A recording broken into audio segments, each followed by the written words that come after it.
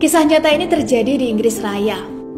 Kisah tentang seorang sales telepon seluler bernama Paul Potts. Paul Potts ini punya perjalanan hidup yang getir. Sedari kecil, dia sering dibully oleh teman-temannya karena badannya yang gendut, juga karena dia punya selera musik yang tidak umum, yaitu opera. Bahkan dalam biografinya diceritakan bahwa dia pernah mengalami pelecehan seksual juga. Sebuah pengalaman yang tentu saja akan menyisakan trauma tersendiri bagi dirinya.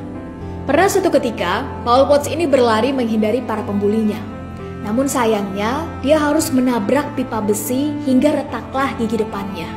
Ya, akhirnya karena kombinasi yang ekstrim itu, dari mulai badannya yang gendut, selera musiknya yang tidak umum, dan bentuk giginya yang retak tidak sempurna lagi, maka Paul Potts menjalani masa mudanya dengan terus menjadi bahan bulan-bulanan, ejekan, dan bulian bagi teman-teman dan lingkungannya. Berbagai bulian ini membuat dirinya selalu insecure, tidak pede setiap harinya.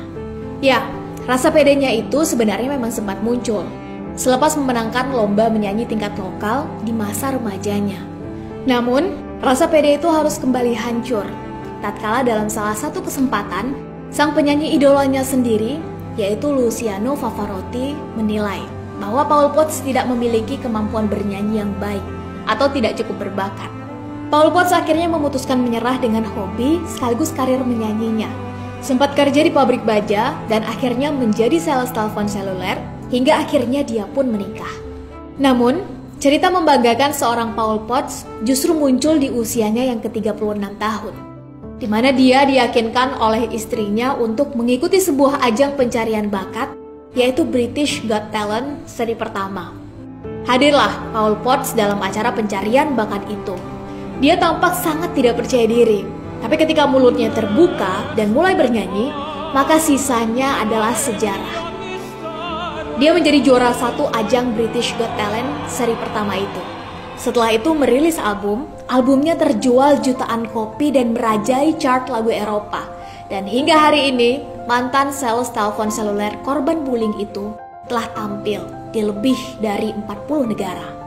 Dari kisah dramatis Paul Potts ini, setidaknya kita bisa belajar satu hal.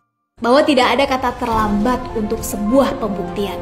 Pembuktian bahwa kita bisa, pembuktian bahwa kita mampu, pembuktian bahwa selalu ada hadiah tidak terduga dari keputusan kita untuk menghadapi resiko, rasa malu, dan ragu yang selama ini selalu kita hindari itu.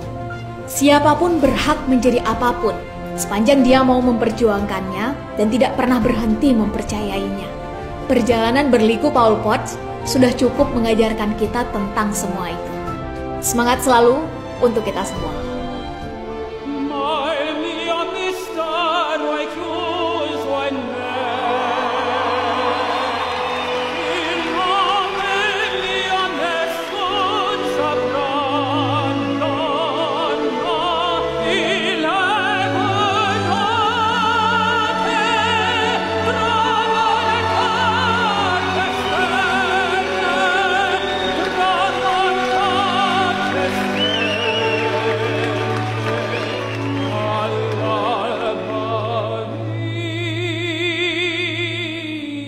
error